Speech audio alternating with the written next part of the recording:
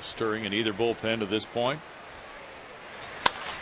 And that's into right field for an RBI single for Manzella.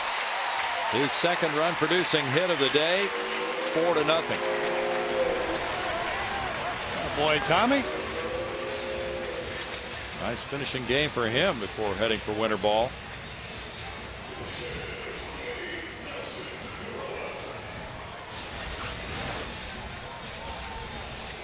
Punching this ball through the hole on the right side. Infield tightened up to have a play at home. He's able to take advantage of it.